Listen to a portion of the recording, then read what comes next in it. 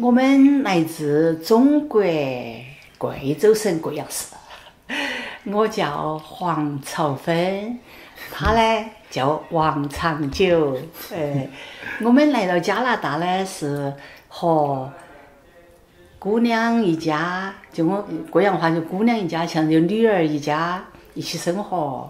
哎，那么我们前几天呢才过了端午节，哎。我们以前小的时候过端午节，就讲的端午的，那个就就很热闹啦。我们小的时候过端午节，早上起来，然后吃粽子，哎，吃了粽子呢，就约起小朋友，哎，一起提个提两个粽子，拿个盐蛋，就出去爬山，叫做游北并。哎，我们去。去登当地的山，有小的时候对那个山来讲是很高很高的。曾记得我们小的时候，我就下山上调皮，跳来跳去，跳来跳去，结果哇，一跤摔下去，把脚都打打出血。我们贵阳话就叫拽出血哦，就打出血，打破。哎呦，小的时候打出血肯定哭了，后赶快拿得草草。他说端午节是两草都是药。就拿点草草把他狗睡来敷起包起，嗯，还是照样玩。啊，小的时候，哎，他呢回忆得更多了，你说吧。刚才，嗯，我老板讲的有百病，可能很多人听不懂什么叫有百病。有百病就是我们那边的习俗啊，就是端午节这一天出去走一走，嗯。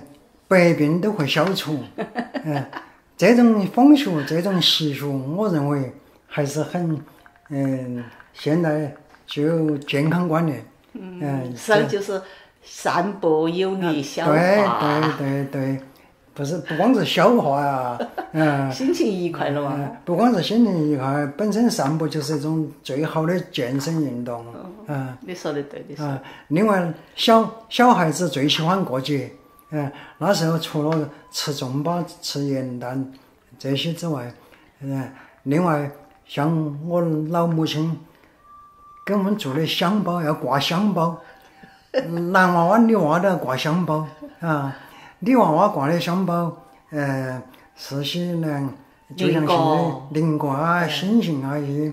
男娃娃我们最喜欢的是什么呢？哎，孙悟空、猴子抱南瓜。嗯，那个那个香包啊，嗯，我现在回忆起来，里面里面装的有香里面装的那些香香粉，嗯，啊香粉的味道可以延续若干若干天，嗯，闻到挂在挂在身上，这个闻到都是非常香的，嗯，我觉得这个习惯现在好像已经很少有了。没没，还是有些地方做，有些有些农村有些有些地方做，嗯，城市一般都不做了。还有好，我们就讲到这里喽，哈。我们贵州话呢，就贵阳话呢，和四川话有点接近，有点接近。不是有点接近，很接近。不过呢，就是各自的一些特特别的方言，可能还是有差别。嗯。啊，就像嗯角落，我们贵阳人讲的是卡卡角。卡卡角角，卡卡角角。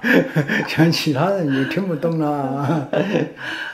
嗯，反正嗯，这个各个地方都有方言，都有一些呃说话，这是其他地方听不懂的，反正是嗯，所以说中国这个人多，不同的省份都有不同的地方语言，嗯，我们贵阳话和成都话是重庆话都是比较接近的，嗯，但是贵州有些地方讲的话就不一样了。